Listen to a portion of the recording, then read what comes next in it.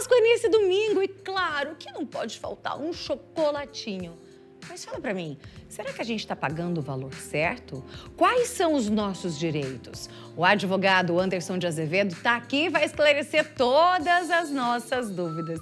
Doutor Anderson, é um prazer recebê-lo. Obrigada por estar aqui com a gente. Prazer é todo meu. Você que vai comprar muito chocolate nessa Páscoa, porque ele tem quatro filhos, inclusive trigêmeos de 15. Exatamente.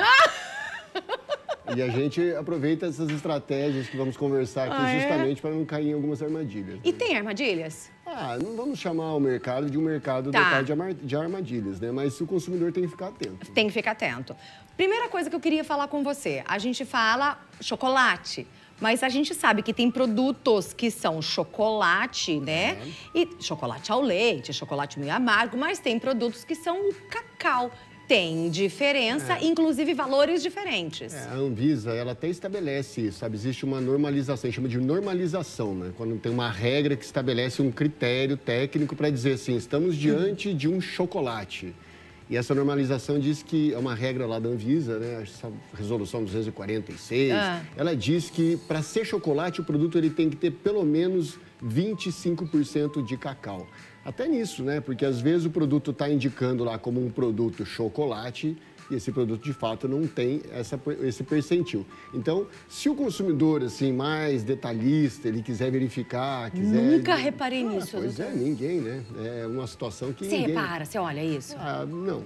Ah, então tá bom. Eu fico mais tranquila. Eu fico mais tranquila. Agora, pra ser cacau, é que teria que ter uma concentração É, maior? É, na composição dele, 25% de cacau. E o chocolate branco, 20% de cacau.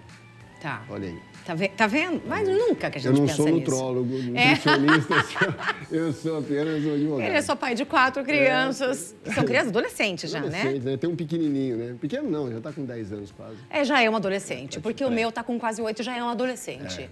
É, diferente da nossa época. É, e o, e o pequeno que vai acompanhando os grandes, né? Então. É, mas a- eles ainda querem ov- ovos de Páscoa? com- Não, ovos não, eles chocolate. a gente- Chocolate. é, o chocolate a gente compra. Porque eu ia te perguntar, ovo ou barra? Você sabia que quando eu era pequena, a minha mãe falava assim, não compensa comprar ovo de Páscoa, vamos comprar barra. E eu queria tanto um ovo de Páscoa.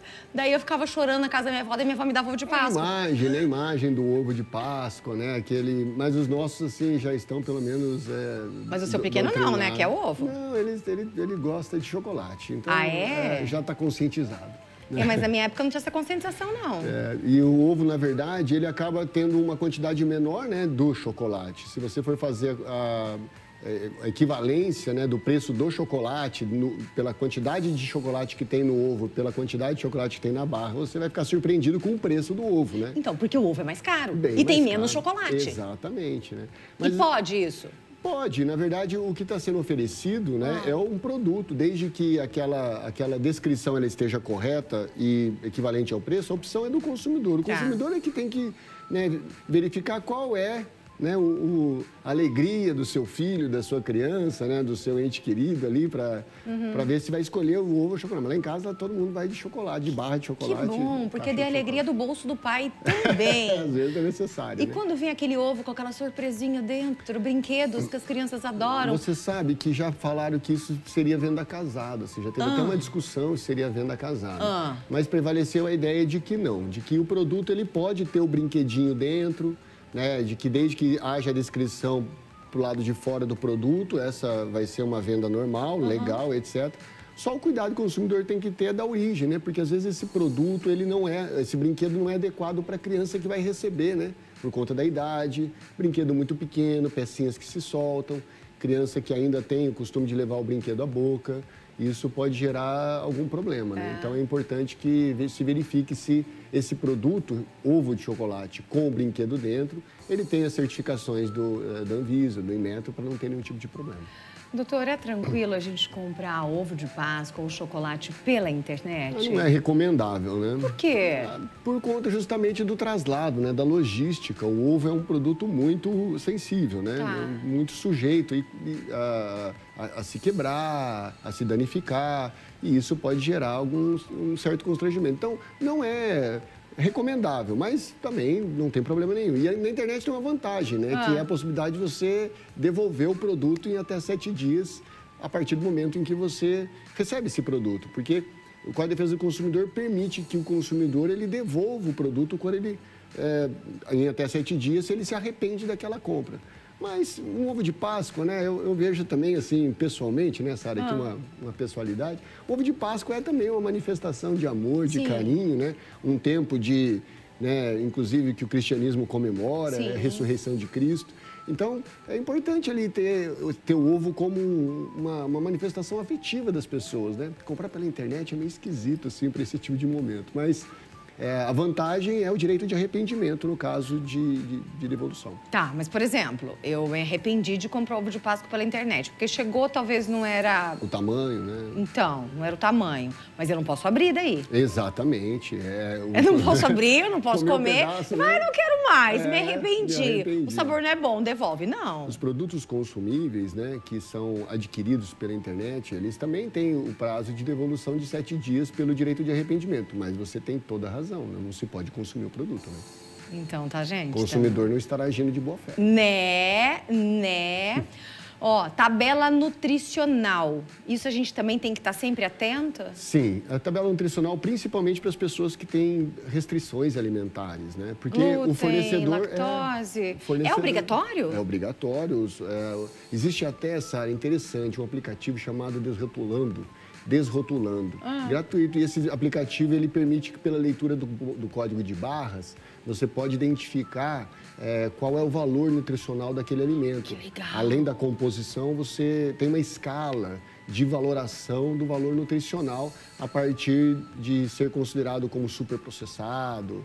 É bem interessante, chama Desrotulando. Para o consumidor, assim, até para o consumidor que vai fazer eventualmente uma compra no supermercado, para além do chocolate que estamos falando, é interessante, porque você pode ali pelo código de barra você identificar o valor nutricional do alimento. É bem interessante isso.